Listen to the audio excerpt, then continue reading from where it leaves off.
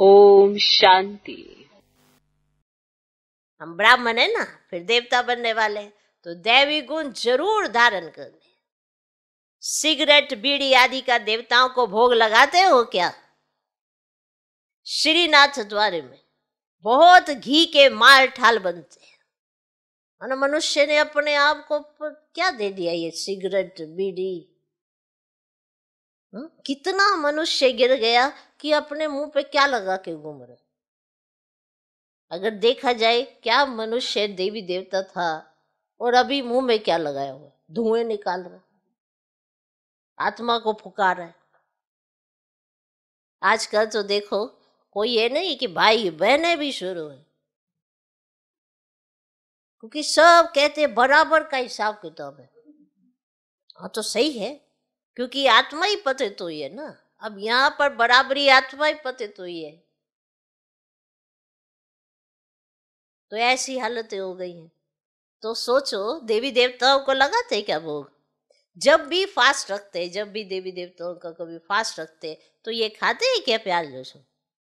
नहीं खाते? क्यों नहीं खाते? भाई खाओ ना।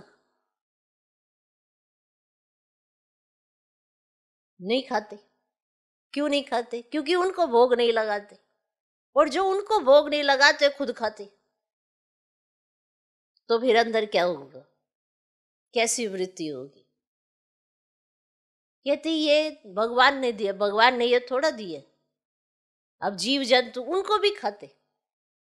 वो तुम्हारे लिए बनाए हैं क्या?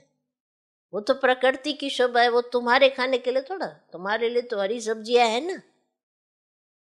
जो प्रकृति ने तुमको दी है।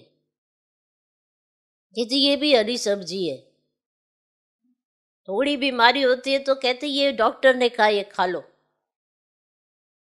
बताओ तो फिर इसका मतलब जो खाते होंगे उनको तो बीमारी ही नहीं होगी। वो क्यों बीमार है फिर? तुमको सुनाते हैं ना कि तुम ये नहीं खाते इसलिए तुम बीमार हो। इस समय आत्मा पतित है, शरीर तुम प्रधान है तो हर एक बीमार है। ये राज नहीं कुछ समझ पाता। आत्मा पतित है, ना कि खान पान अभिशुद्ध है। खान पान भी तो अशुद्ध है। इसीलिए सब की अवस्था पतित, चाहे कुछ भी खा ले, क्योंकि वृत्ति पतित है। इसीलिए ऐसी अवस्था हो गई। इसीलिए जो उनका दिल आता है, जो संकल्प आता है, जैसा भी, मना आसुरी है ना? बुद्धि आसुरी है तो आसुरी बुद्धि से हर एक चीज़ अंदर जाती है। सब कुछ अशुद्ध है। हम शुद्ध बना रहे हैं। अपने आप को पवित्र बना रहे हैं बाबा की श्रीमत परमान। फिर भी हम बीच बीच में मनमत डाल देते हैं। तो अवस्था कैसी होगी? ऐसी होगी ना?